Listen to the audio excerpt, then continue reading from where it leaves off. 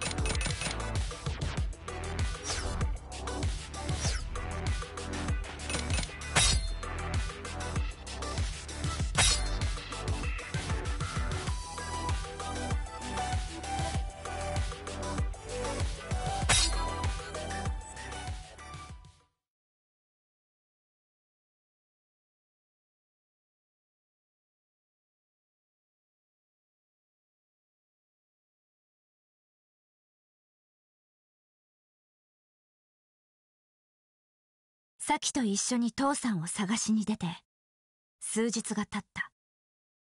未だに父さんの手がかりは見つかっていない。あれからレイとも連絡がつかないし。一体どうしちゃったんだろう。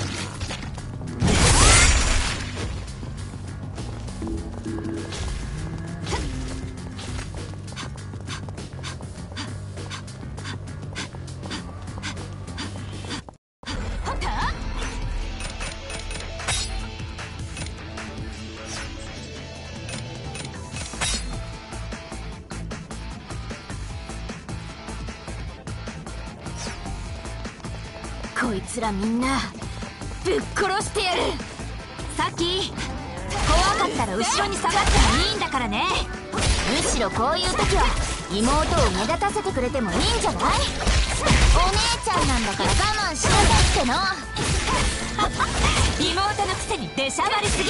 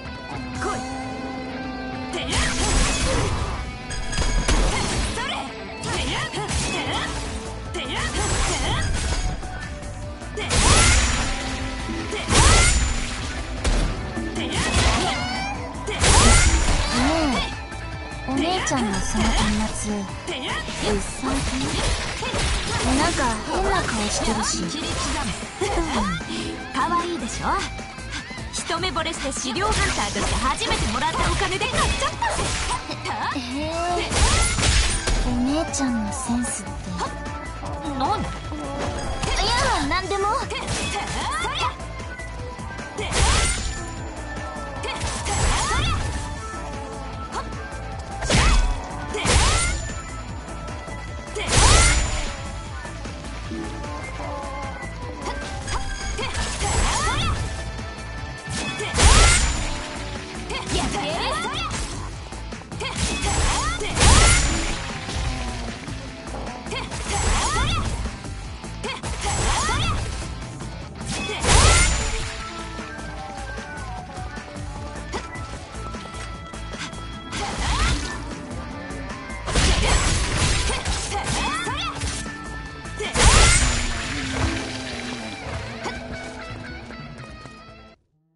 まるで何かが出てきたような穴ね。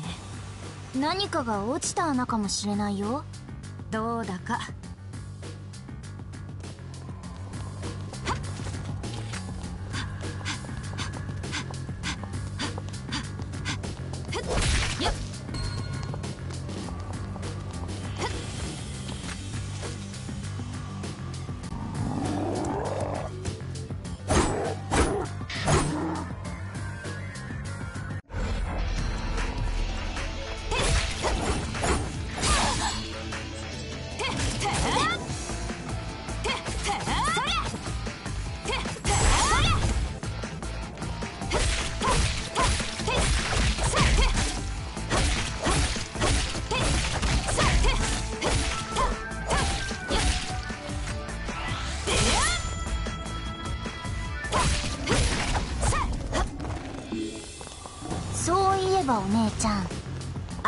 ないの？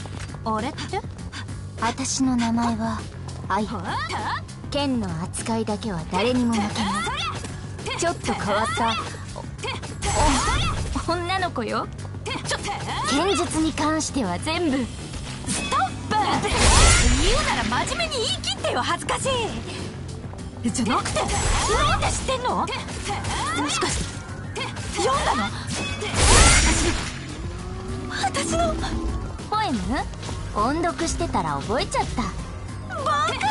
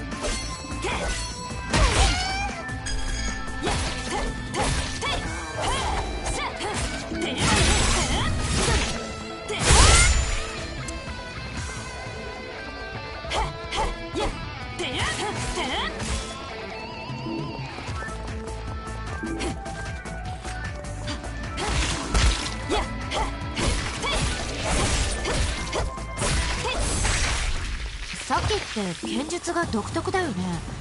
流派とかあるの？え変かな？私の自己流。自己流でそれでそこまで強く戦えるんだからすごいよ。そうかな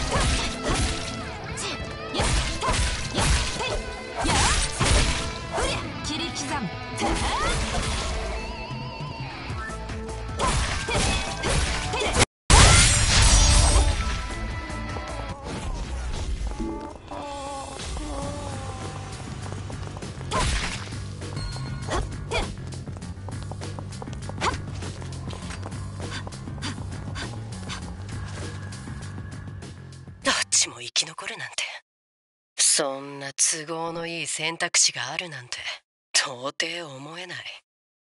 レイとも連絡がつかない。そのレイっていうのはお姉ちゃんの知り合い？そう。サキと父さんを見つけるために私に情報を提供してくれていたんだけど。ふーん。そのうちばったり会ったりして。会っても分かんないけどね。今まで端末でのやり取りしかしてこなかったし。え？そんなやつ信用してたの？大丈夫？こんな世の中だししょうがないでしょ。今だってショップアプリは機能しているんだし。あれレイが入れてくれたの。へえ。ほら行くよ。あ待ってよ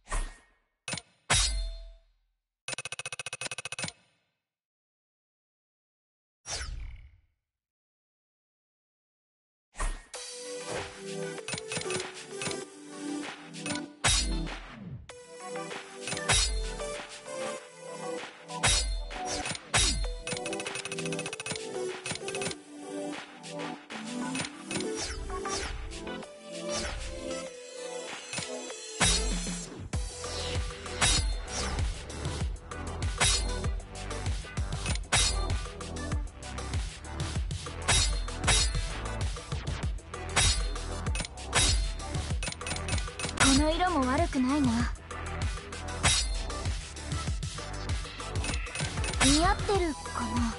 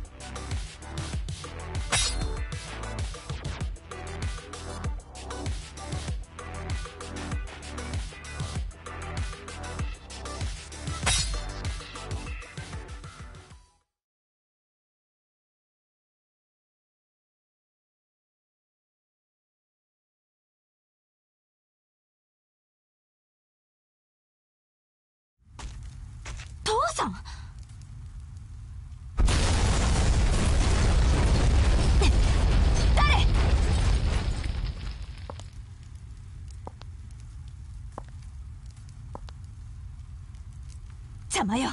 早くそこを。あ酒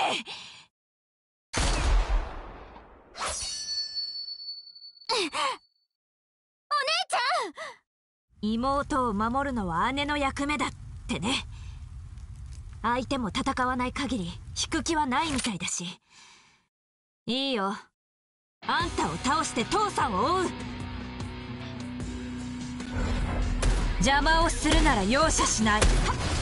さきあんたの背中は私が守るもうお姉ちゃんぶりするね。私だってお姉ちゃんの背中守ってやるんだから。ありがとう。任せて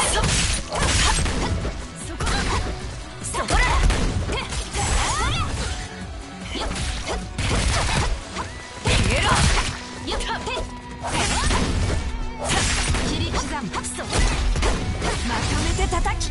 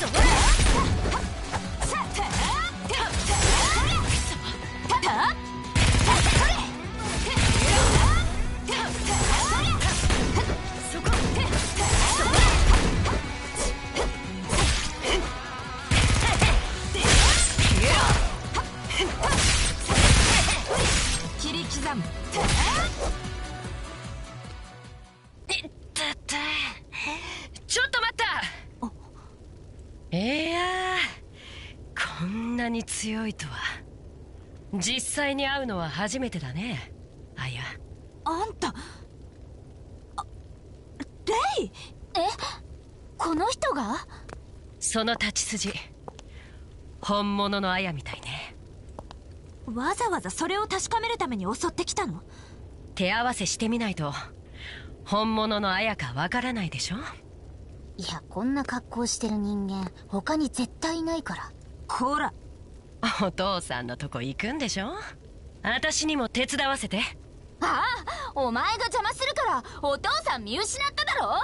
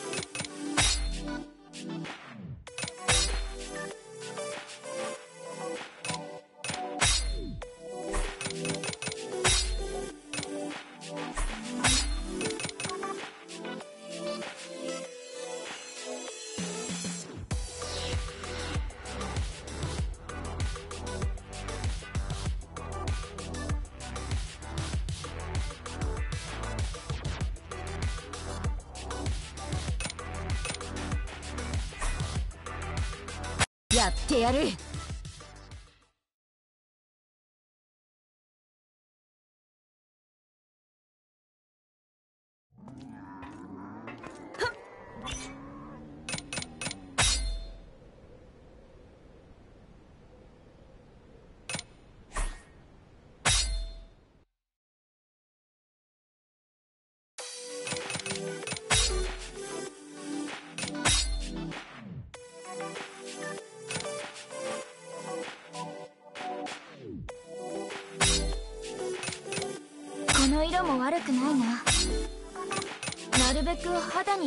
かないのがいい。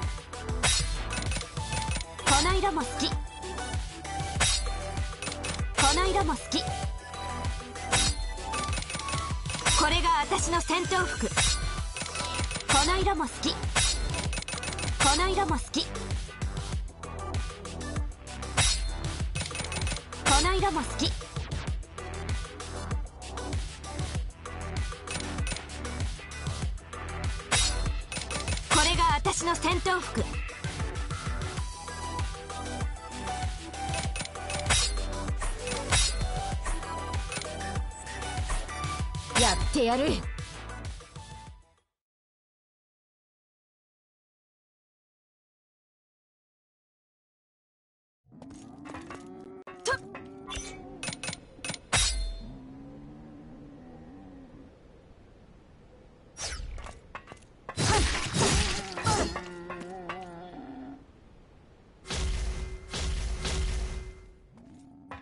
まだ。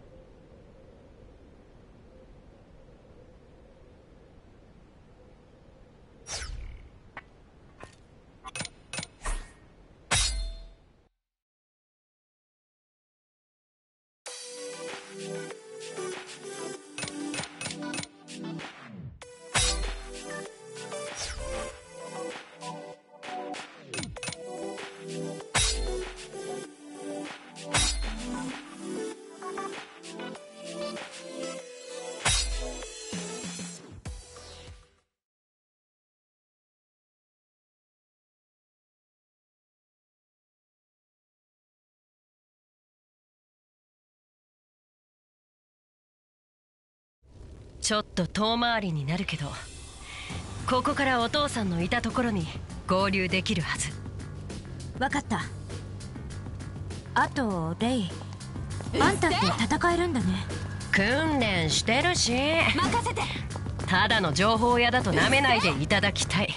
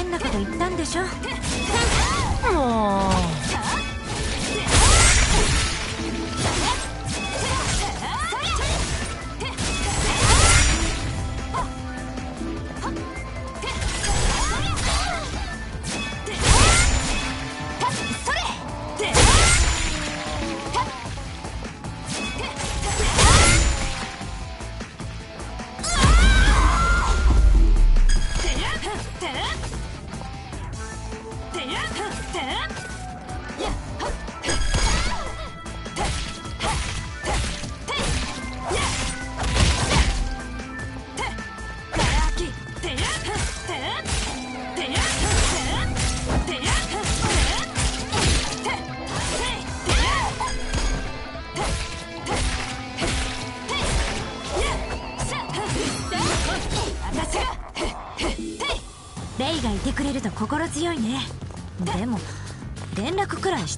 よかったのに。こっちも色々と大変なのよ。個人で活動しているんじゃないの？そうだけど物資援助を続けてもらえるように手配するとかとにかくもうあいろいろあるの。はしょった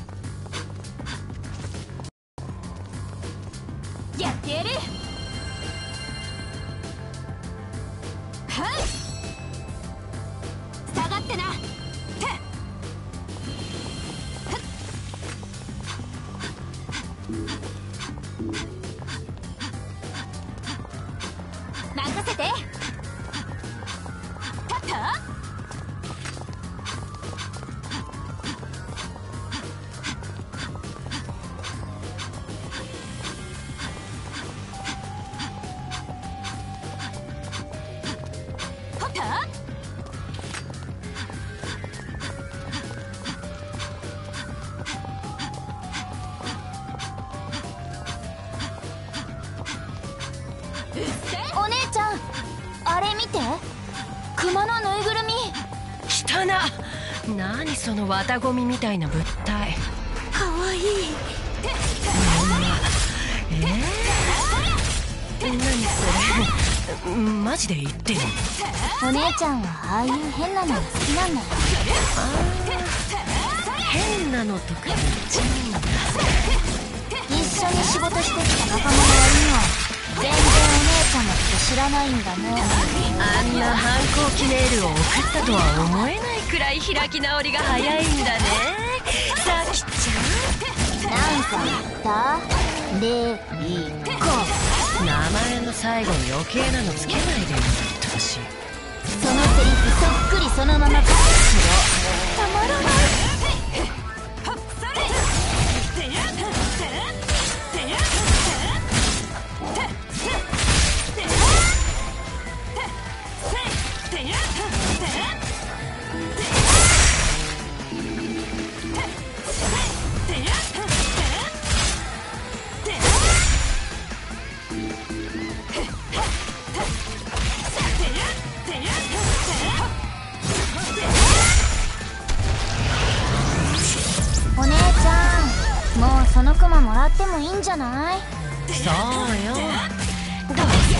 せ誰も見てないわよ何を勝手なクマさんはここがお気に入りなの私の勝手で動かすことなんてできない。ああもうこれ完全に入ってるよ。ああ自分の世界ってやつ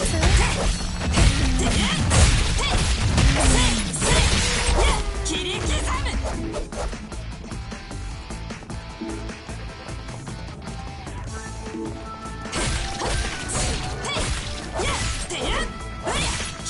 is heaven!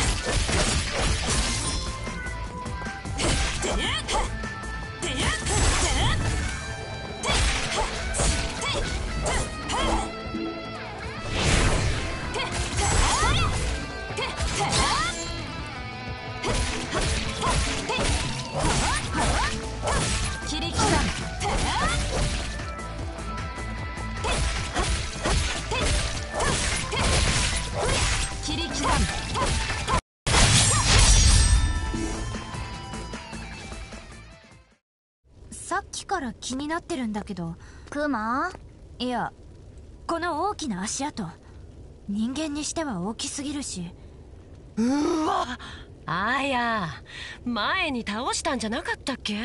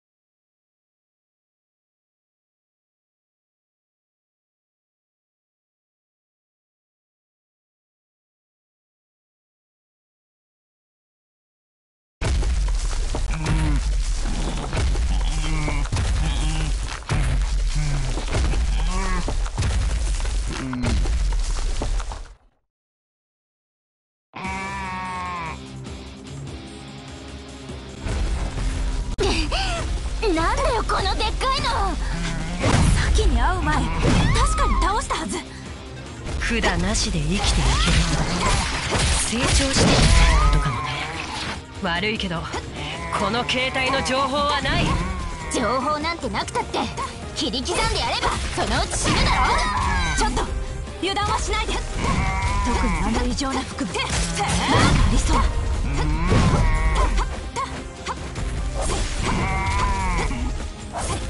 刻む。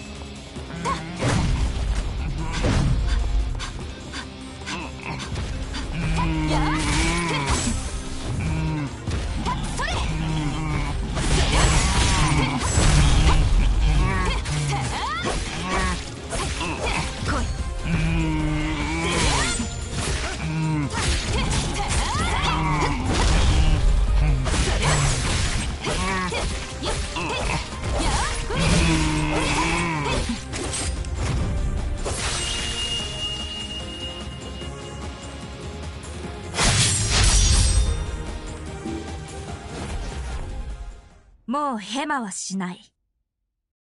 それにしてもこの資料他の資料どもと違って成長してた。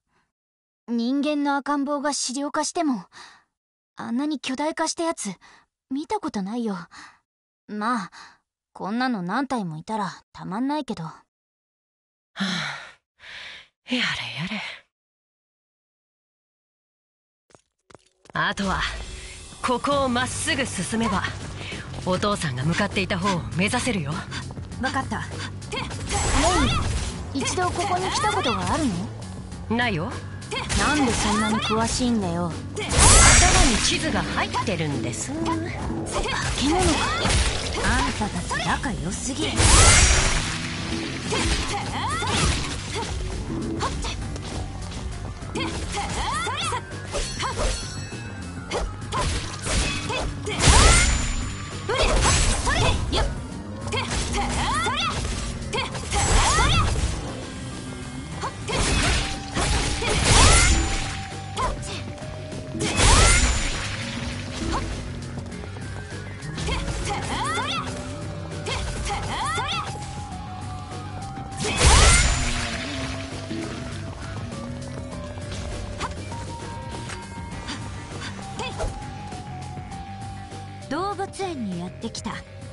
んびり屋のクマさん。か。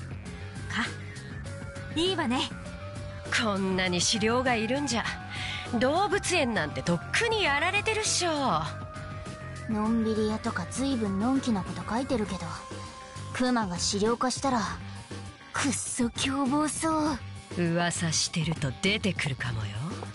まさか。幽霊じゃあるまいし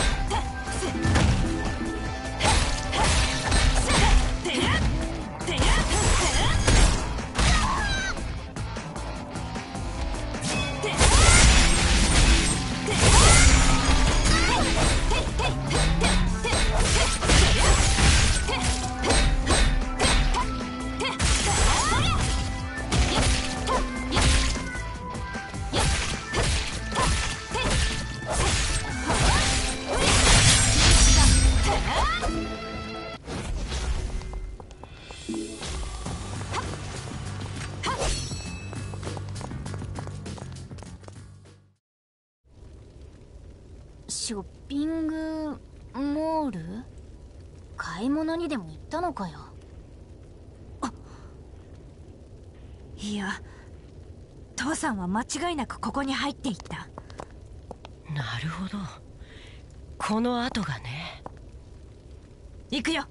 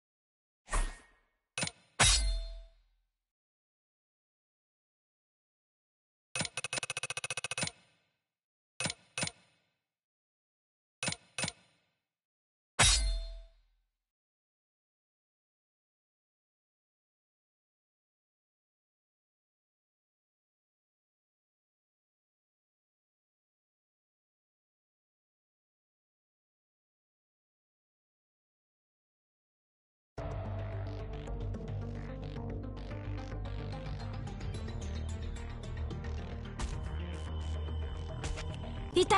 父さん。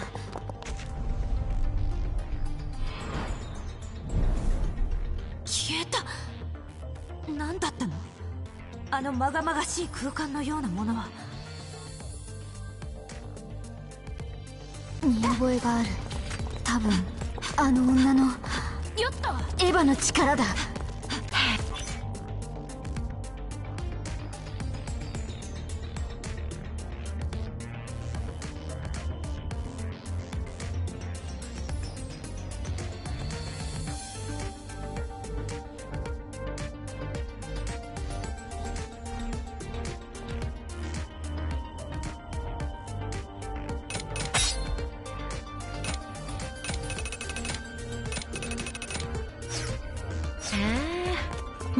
元手下だけあって信憑性が高そうな情報ね。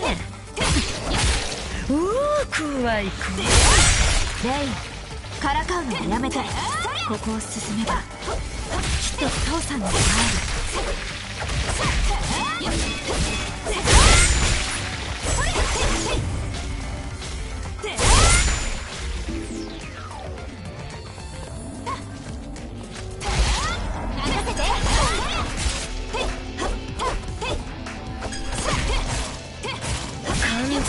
機能しなくなって数年えるシャッターが降りているところを見ると避難場所として使われてたのか。数の連想。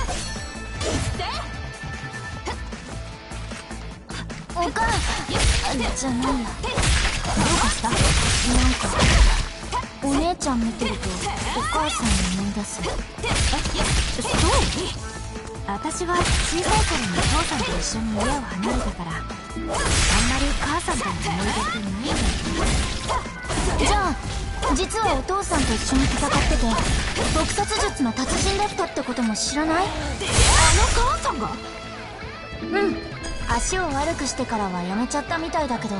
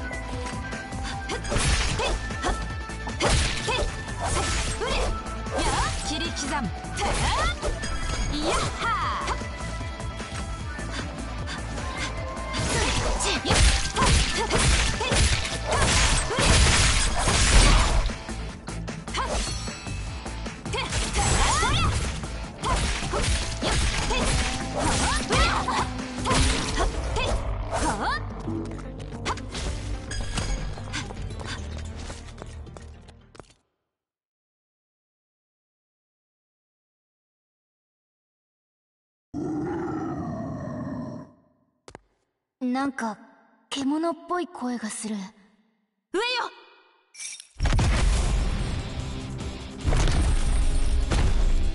えクマ！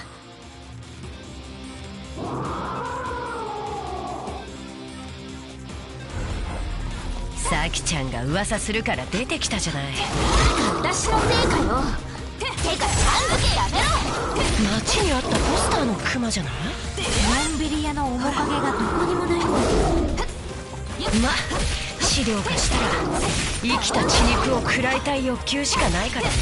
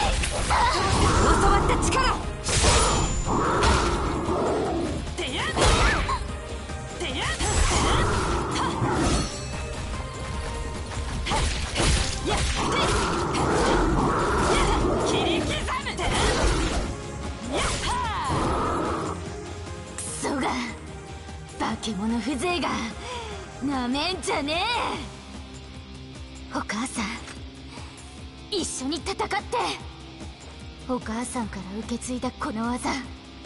椿流撲殺術でぶっ殺す！オラオラオラ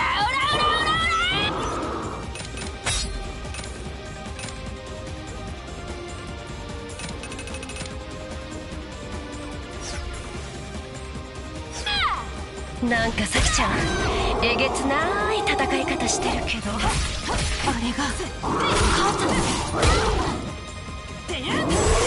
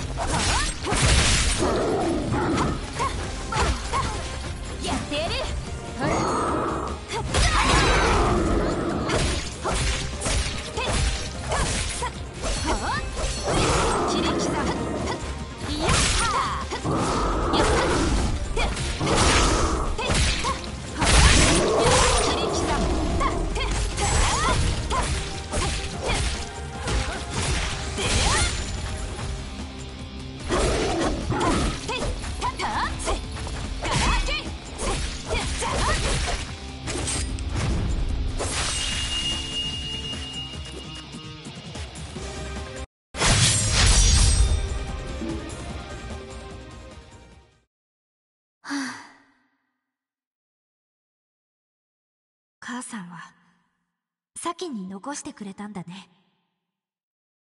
ボロに接触する前に綾と咲を殺せと命じられたはずです。クズどもが余計な邪魔はするな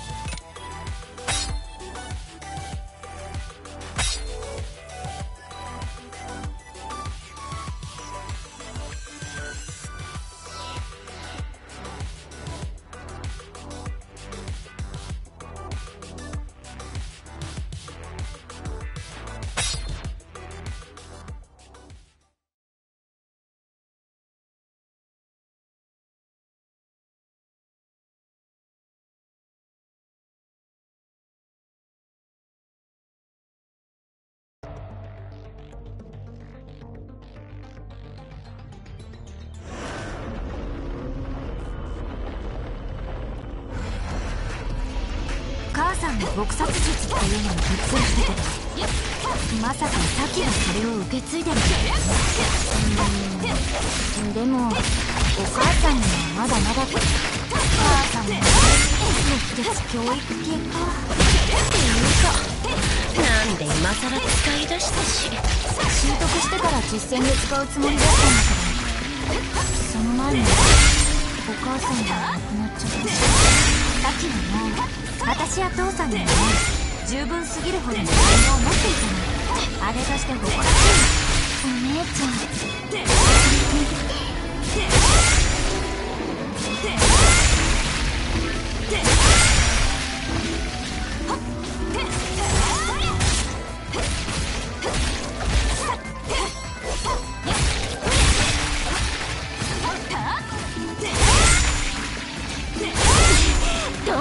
湧いてくる。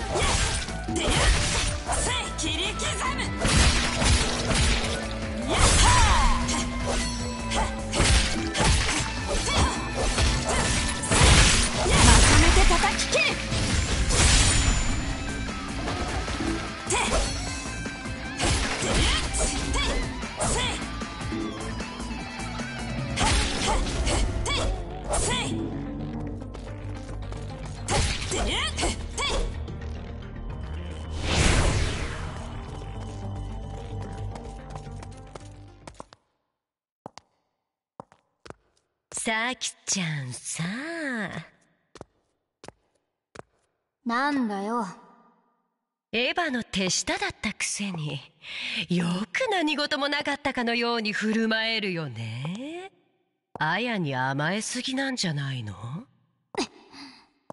そんなことそんなこと分かってるよ。私がお姉ちゃんの優しさに甘えてるだけだって。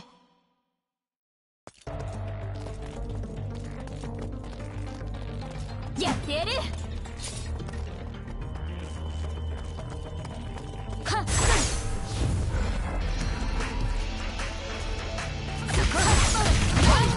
んなところで閉じ込められるなんて嫌になるね。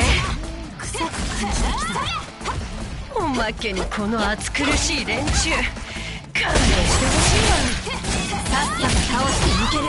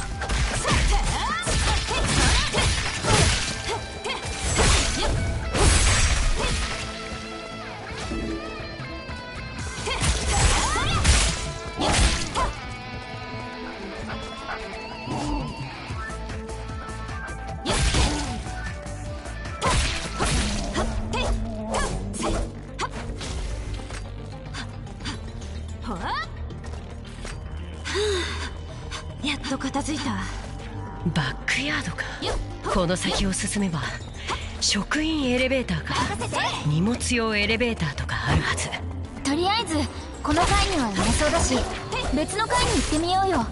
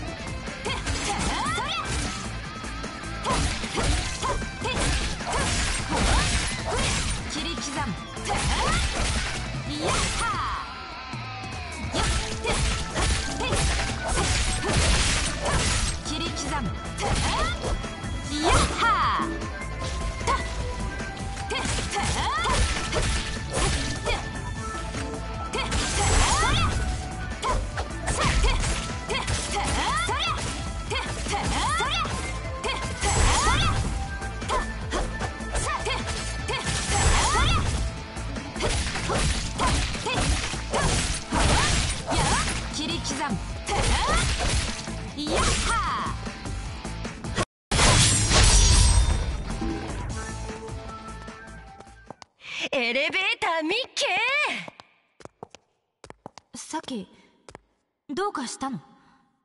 え？なんで？なんかさっきから焦ってるから。もしかしてレイに何か言われた？ちょっと！人聞きの悪いこと言わないでよ。お姉ちゃん。私お姉ちゃんのそばにいていいのかな？何それ？どうしたの？いきなり。ごめん。やっぱ何でもない。早く上に参ります。ほら行こ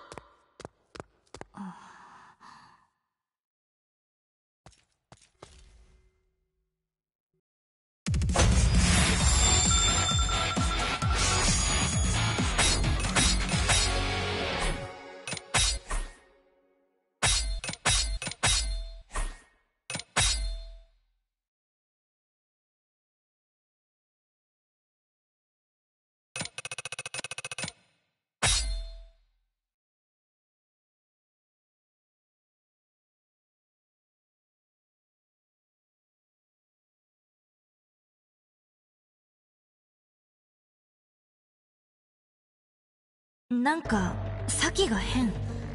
お姉ちゃんしっかり。あんたが妹の様子がおかしい時。サキ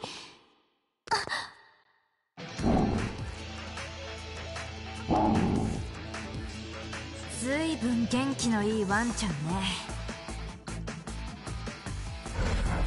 サキあんた死ぬ気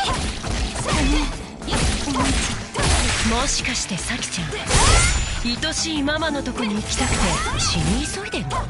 お姉ちゃん私はお姉ちゃんを殺すつもりで刃を向けたなのにお姉ちゃんは私を殺すどころか救ってくれたどうしてそこまでしてお姉ちゃんは私と一緒にいてくれるのどうしてって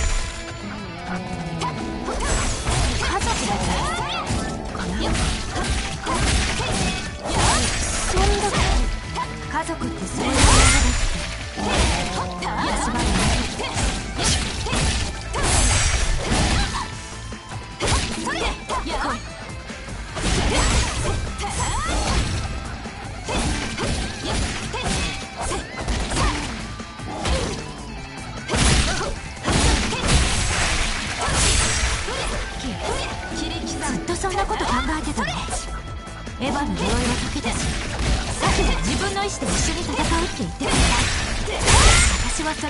十分だ。あやは甘いね。呪いなんて曖昧なもの。またいつ復活するかわからないよ。気にしなくていいんだよ。たった一人の可愛い妹なんだから。どんどん甘えればいいじゃない。こうして生きていられるうちにね。お姉ちゃんなんでもないありがとう。お姉ちゃん。何が家族だ。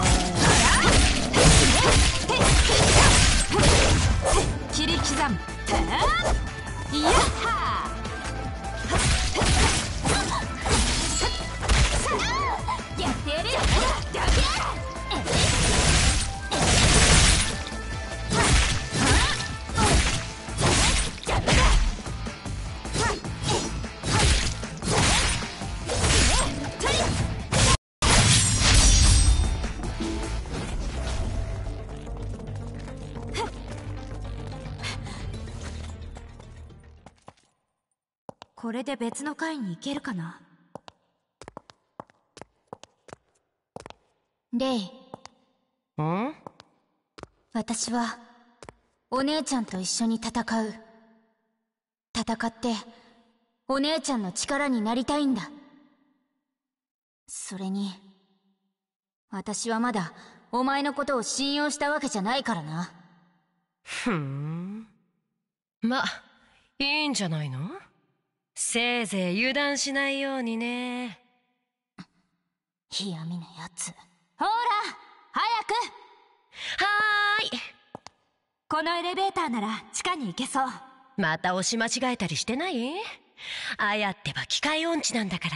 してないって。えお姉ちゃん機械音痴なの？違います。ちゃんと端末も扱えてるじゃん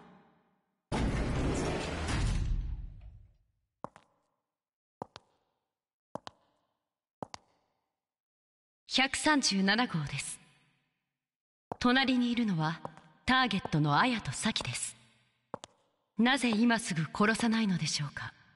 標的はすぐそこにいます。137号は主の命令に背いています。任務放棄とみなし137号を殺処分すべきかと。殺処分が妥当と判断。137号の殺処分を実行する。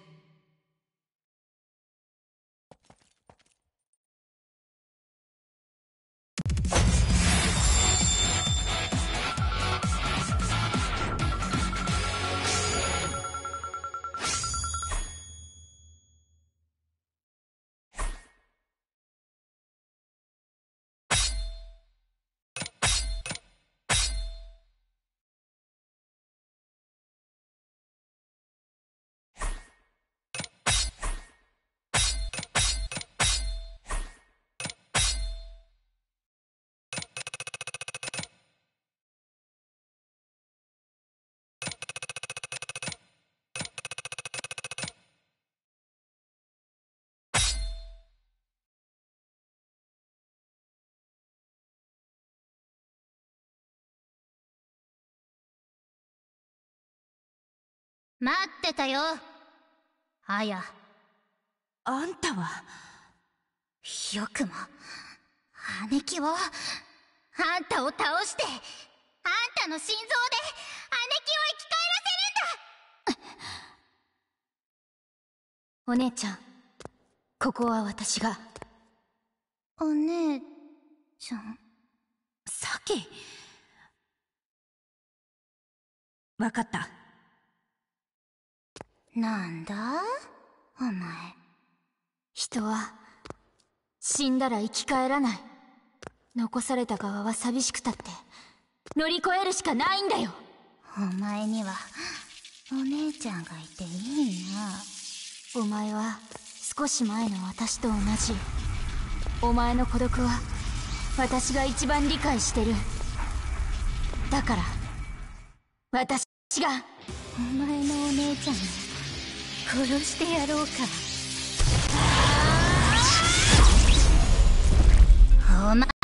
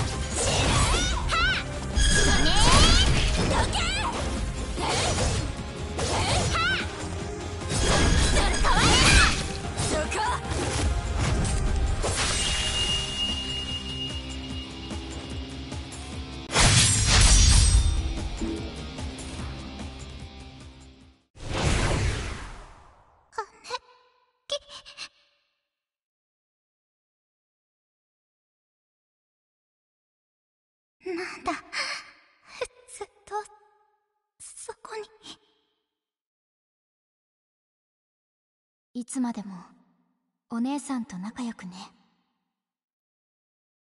なーにあれ？さきは自分へのけじめを果たしたんだよ。けじめ？か。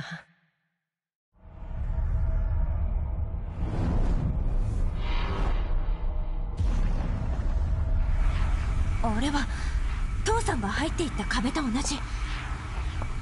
私たちを呼んでいるつもりなのかな？探す手間が省けたけど。ごめん。私ちょっと野暮用できちゃった。レイどうかした？行こうお姉ちゃん。えちょっとさっき。大丈夫。すぐ追いつくから。分かった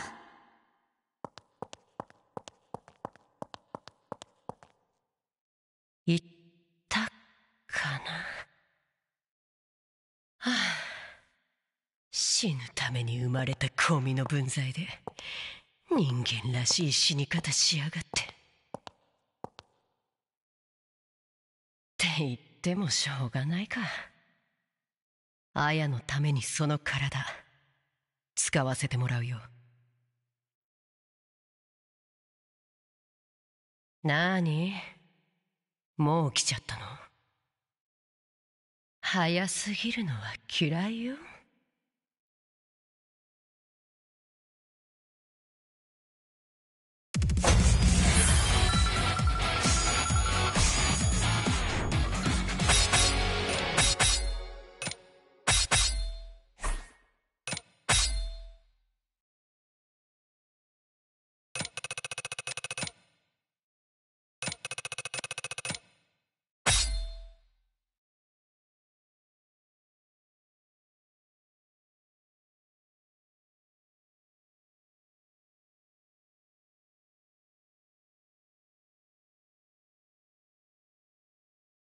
使えない小娘。所詮はよみがえりか。ああ遅かったじゃないか。おぼろ。お前に今の私は殺せぬぞ。弱き者よ。どんなにい道の心臓を貪り力を得ようが所詮その力は借り物だ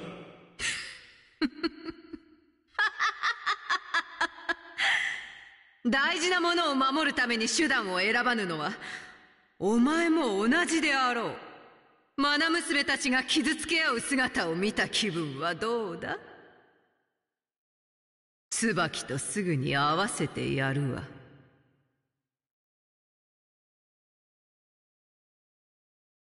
父さん。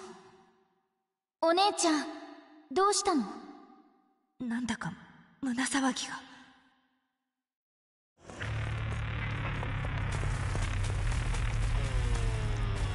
それ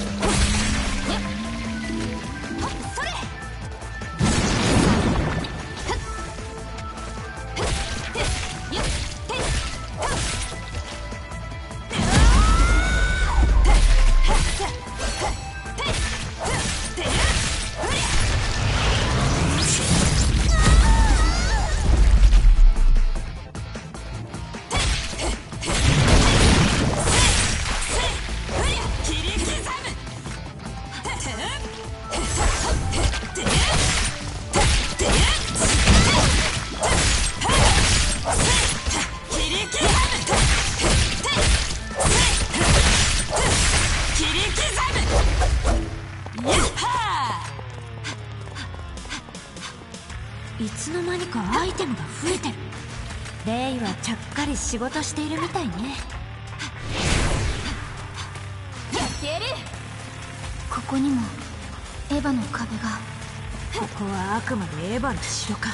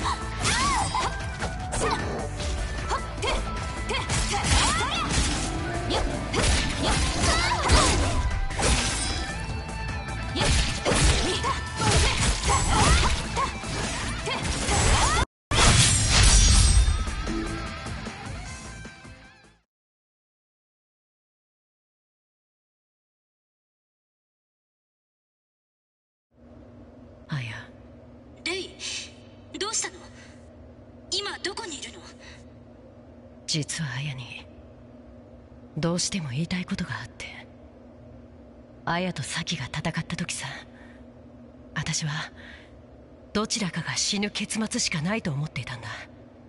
でも実際はどちらも死ななかった。それがねすっごく感動したの。綾が作り出した第三の選択肢。自分の行動次第でこんなにも運命を変えることができるんだって。もしかしたら私のこのクソったれな運命も自分の行動で変えることができるんじゃないかって。だから私もアヤみたいに自分の運命を変えてみせるよ。待っててね。すぐ合流するから。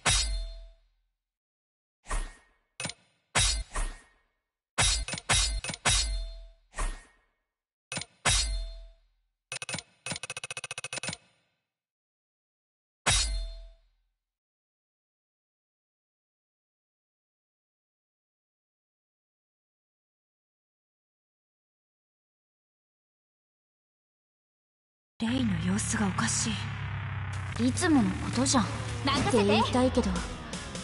確かにちょっと変だった。器用だといいけど。邪魔だ。邪魔邪魔だ死にさ死にさ死にさそこ。邪魔だ死にさ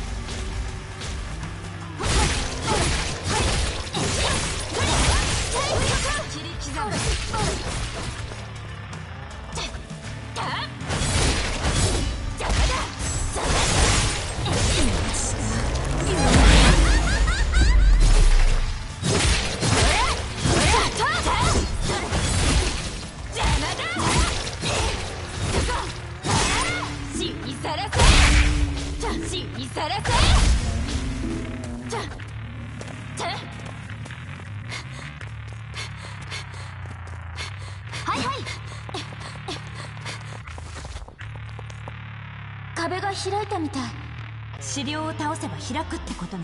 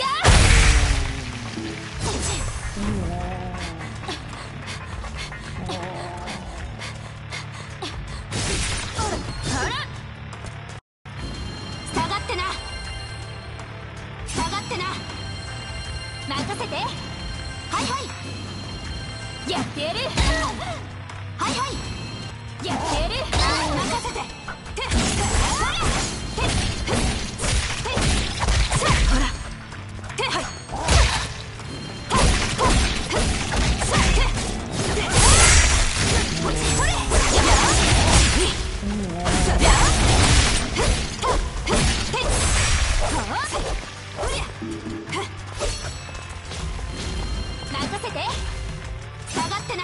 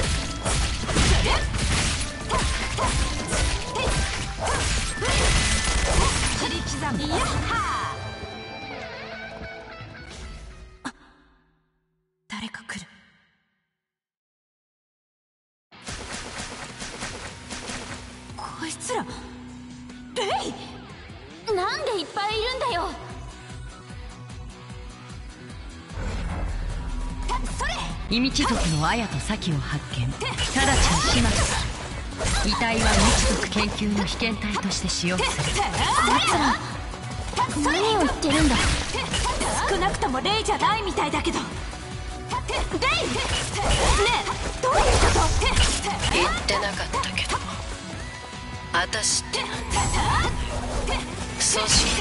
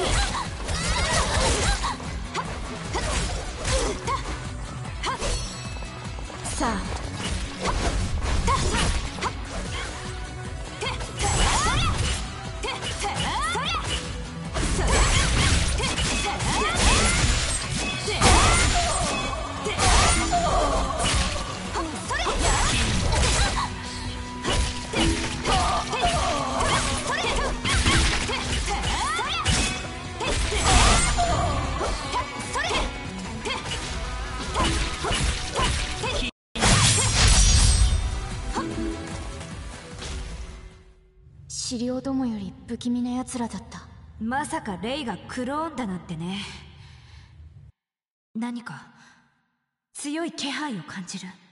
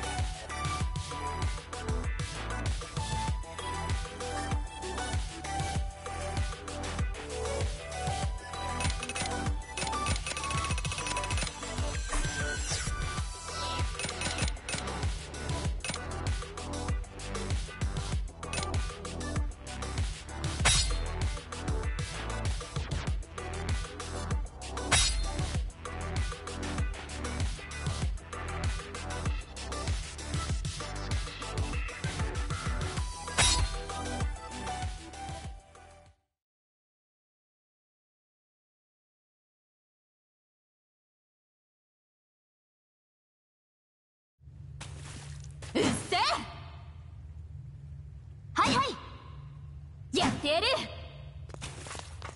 チッ。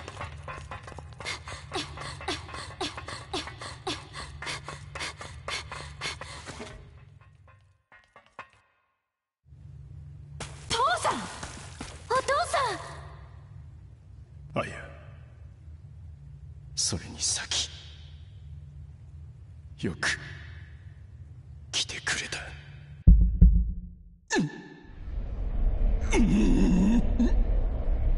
どうか俺を殺してくれ。どうして？もう限界なんだ。俺を殺せ。ああ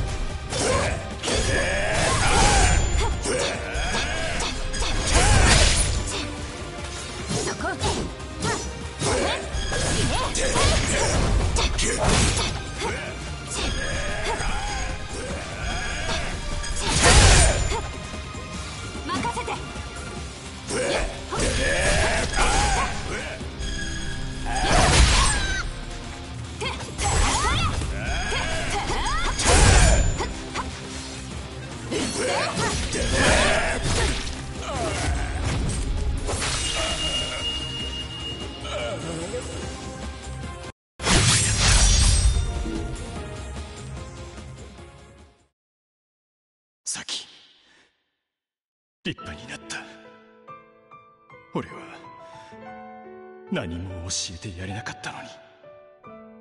ここまで強くなるとは。母さんはきっとお前の本当の強さを知っていたのだな。あいや俺が持っていたその刀には名前がついてるんだ。名前？お前たちの名を二人が生まれた後一人で戦うのは心細かったからないつも大事に持っていたんだ。だけど娘切っちゃうような父親じゃ持ってる資格ないよな父さんどうしてそんなになるまで一人で戦ってきたのせめて父親としてかっこつけたかっただけなんだ。ああ母さんが迎えが来たみたいだ。やだ！イミチは呪われた一族。この世に存在してはいけない一族だ。エヴァもイミチを利用する奴らも根絶やしにしなければまた誰かが悲しむ。あや先イミチの力を刃を持たぬ人のために。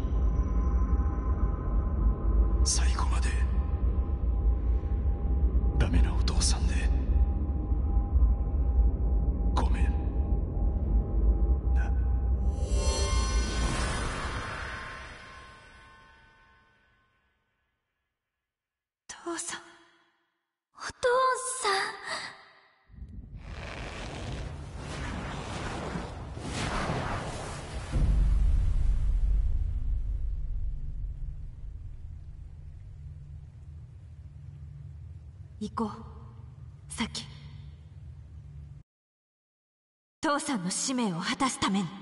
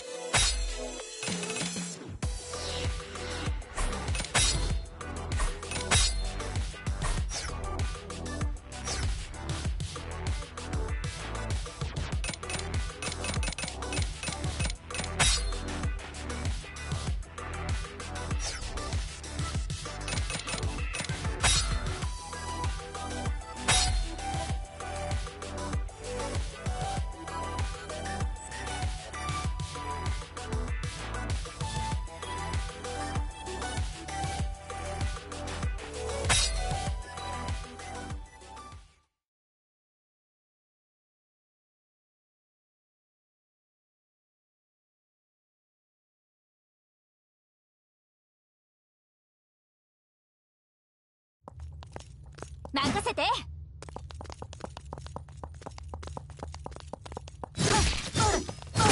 えい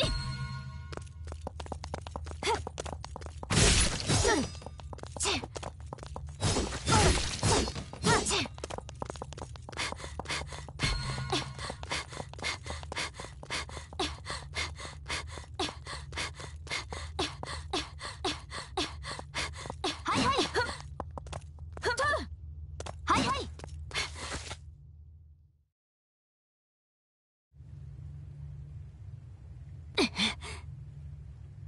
おぼろが言ったか。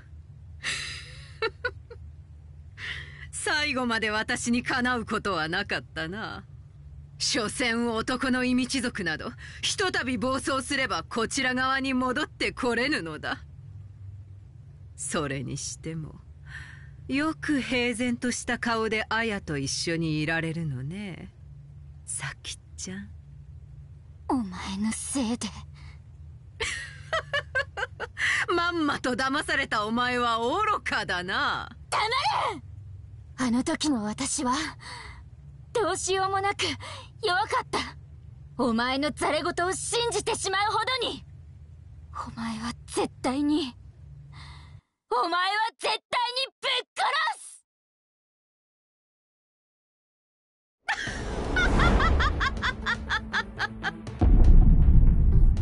私は生きなければならないお前たちの心臓をも取り込んで。母さんと父さんの敵。お前をぶった切る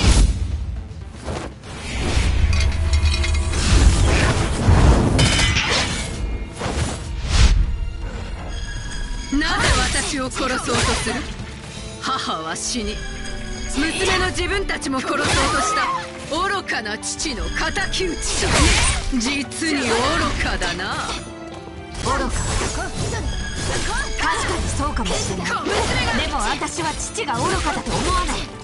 心の底から愛した人のために命を燃やし戦い続けた父を私は誇りに思ってるそんなくだらない干渉のために自分の人生を戦いの渦中に投じるというのかたとえ異道の運命に狂わされて大切な人のために刃を持たぬ人のために。私たちは戦う。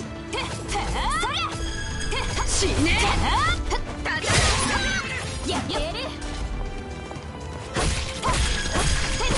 死ね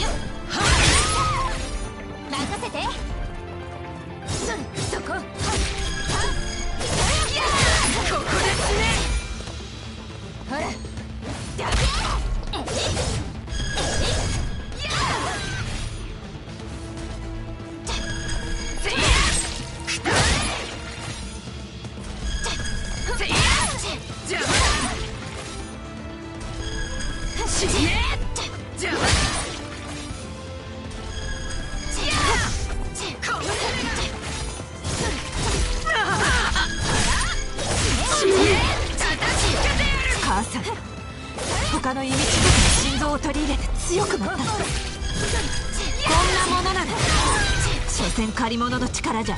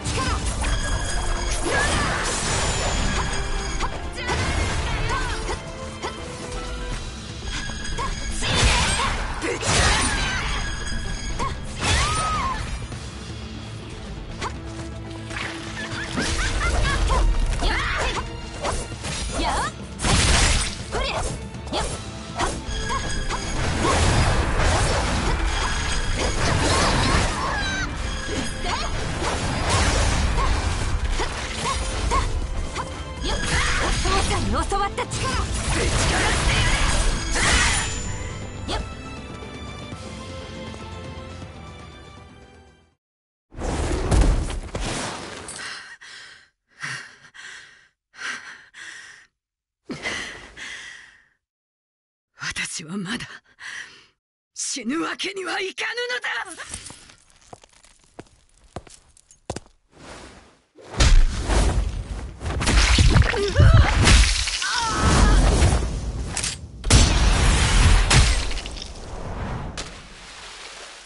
がっかり。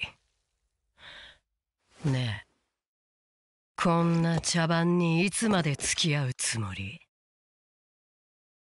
あたしね。組織のクソどもをぶち殺してぶち殺して気づいたら皆殺しにしてきちゃった。たった一人に私は私はオリジンになれたのよ！これでやっとたった一人になれたのに。でもなんだろう。やっぱり何かが足りないの。あんたみたいに。いやあんたになりたいのに。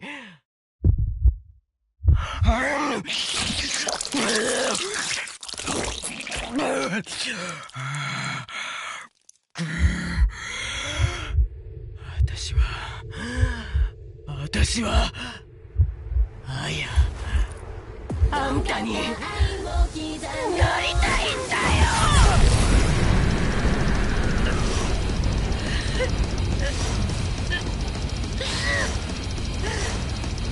ああ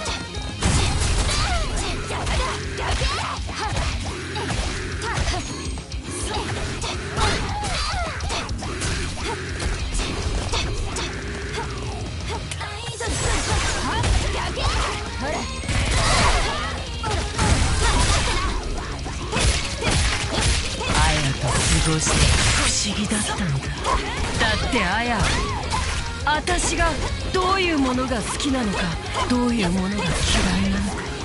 私のことを知ろうとしてくれてたんだね。そんなことを今さら気づいたよ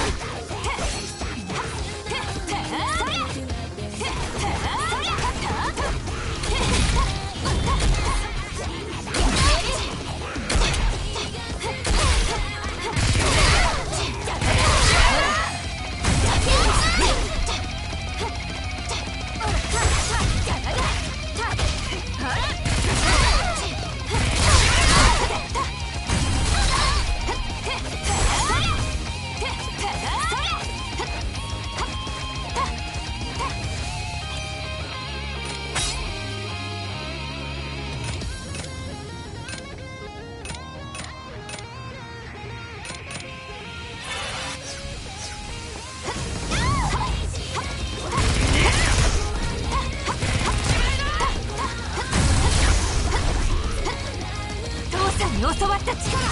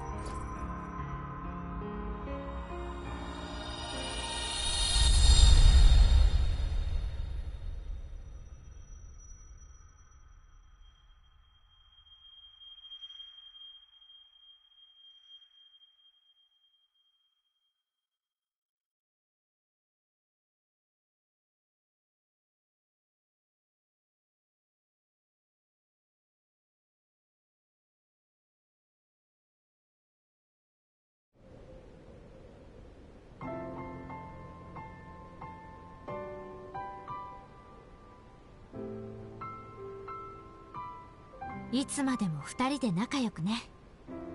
お母さんお父さん見守っててね。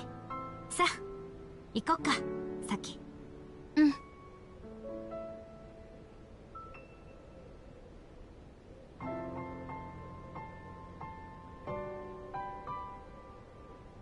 私の名前はアヤ父さんの刀を受け継ぐ者。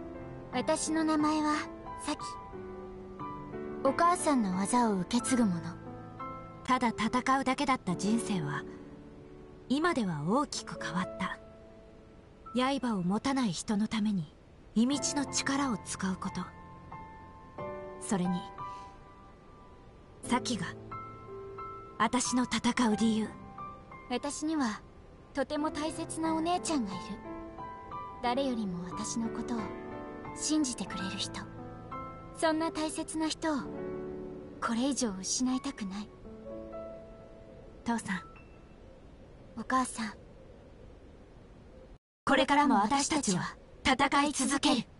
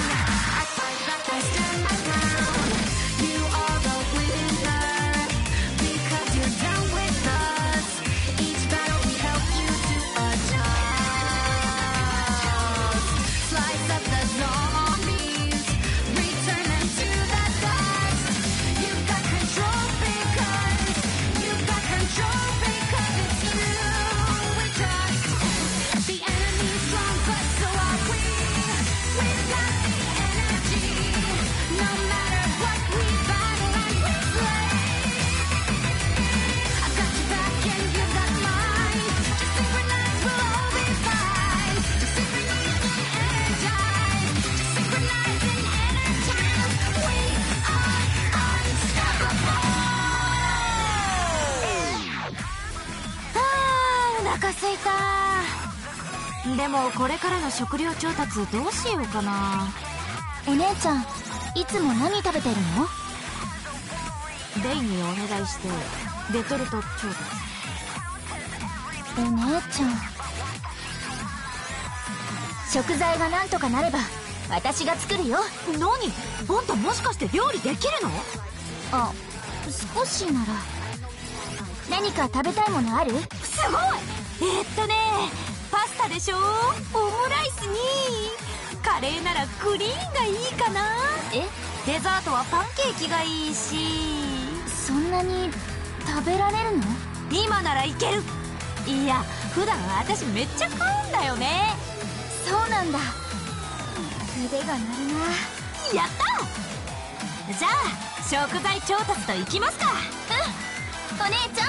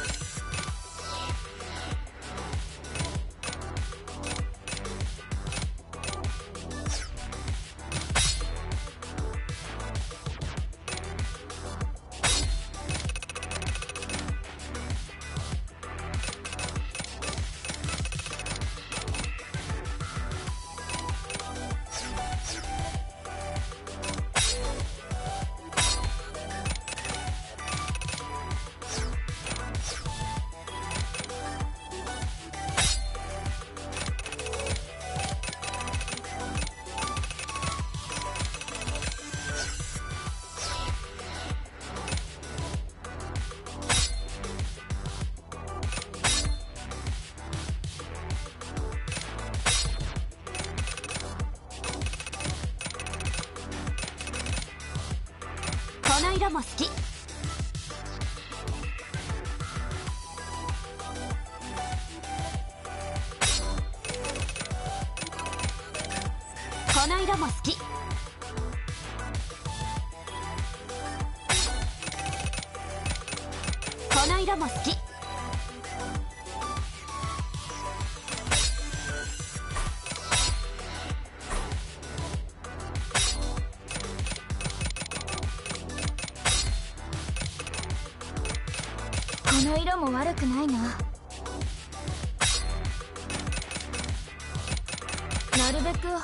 肌に血がつかないのはいい。この色も悪くないな。